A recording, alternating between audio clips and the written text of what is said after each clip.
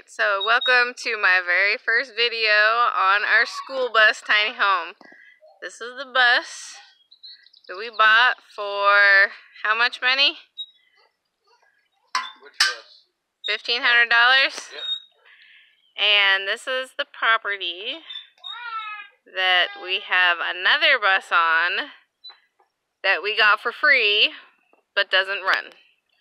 And this is the saga of us converting buses into tiny homes and raising our family in the middle of nowhere, getting healthy, getting out of the city.